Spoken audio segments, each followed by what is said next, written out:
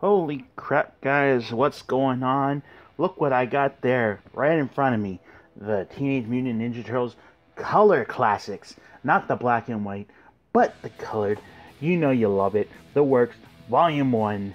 Oh my god, I love this book. I love the the Eastman uh, Lairds. I think I said his last name right. Don't kill me if I didn't. Um, I love the classic Ninja Turtles only beef I have with them. Only thing you can tell them apart is their weapons. Because this ain't the cartoon where they had like the little circle in the belt and had the letters for like L for Leonardo and for Michelangelo, whatever. Nothing like once you read this book, you really gotta pay attention if they're holding stuff or they say their names because you will not know what turtle you're looking at. um, so, like it says, it's color classics. The originals back in the 80s were black and white. I do have a couple of black and whites. Um, I didn't mind the black and whites uh, book. They were more brutal, uh, which I loved. Um, like, like how cool is this? It's like a pizza box. The book is like a pizza box. I got that there. Um, it says uh, Teenage Mutant Ninja Turtles The Works Volume 1 collects the first seven issues of the original Teenage Mutant Ninja Turtle series, plus the Raphael Micro Series issues uh, by Kevin and Peter, reproduced in all new full color. This is from IDW. They've been doing the Ninja Turtle books, and um, I haven't read any of the modern, um, up to date uh, Turtle books. Um, I think I've only stuck with the classics. So that's cool. The box. Then you get the first one. First Ninja Turtles. There we go. Bigger, better, colored. Very cool. Look at that. That's just beautiful. I love it.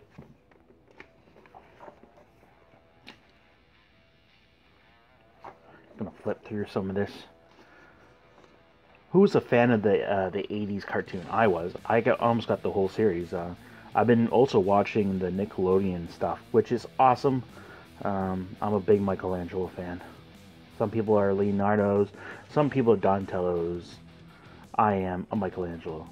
Now, in the cartoon, they were saying that um, Splinter was mutated, like from uh, Hirokosaki, and he mutated to a rat in this one, he was the pet rat and he learned uh, from his master.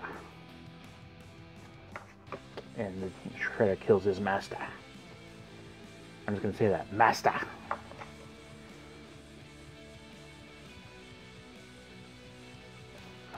Shredder has a very, very small part in this, um, you'll, as you'll see.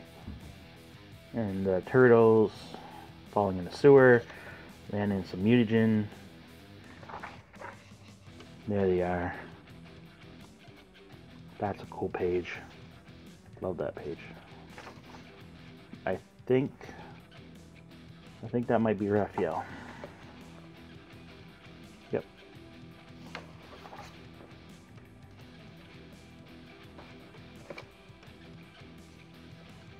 Now, yeah, there's Shredder. Very cool. I think it's only like the first issue, maybe two issues, that they fight Shredder and the Foot Clan. Look at that. That is beautiful. I would love a poster like that. Yeah, so I think it's only like one or two issues that they fight Shredder, and they kind of just kill him off. Like, that's brutal. Leonardo just like slicing right through him. Look at that. And that's the thing about the early Turtles. They, they just killed and they got damaged and it was beautiful. I can say beautiful a lot too. So there they go.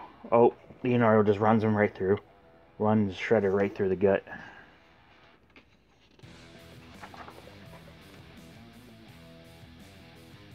And they basically knock him off the roof like in the first movie.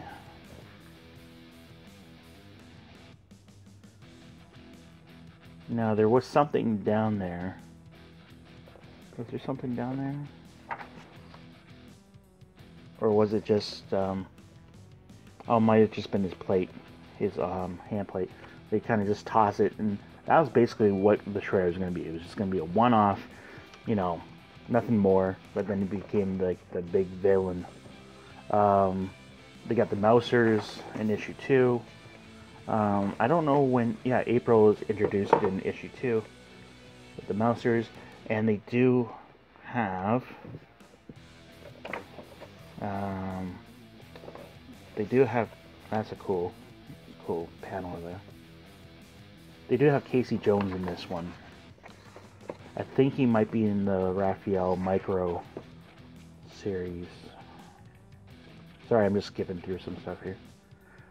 So like you can you can't tell who's who. If they don't have their weapons, you don't know who the hell you're rooting for here. But if I can find Casey Jones here real quick. You know, this is an awesome book to have. Um, I have the first two volumes. I I need to get more. Where the hell's Casey Jones? Mousers. There he is. Yeah, all in one micro series. And Casey Jones was just freaking crazy in this one too. He's just beating people to death.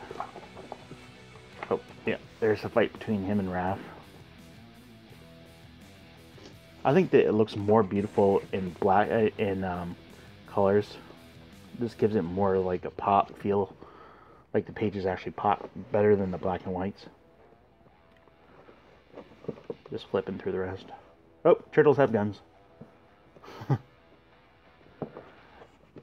one thing I can say is that their splash panel or splash pages are just awesome. Oh. That's cool.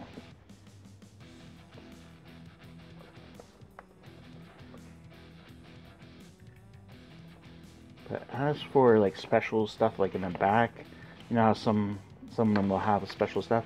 They do have the cover, like the original cover arts. But that's basically it.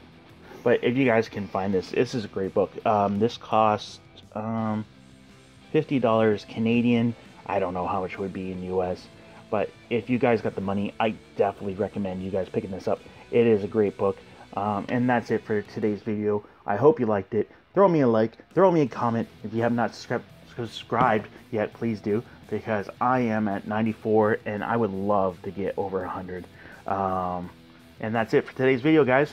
All right, I love you, and I'll talk to you later. Bye.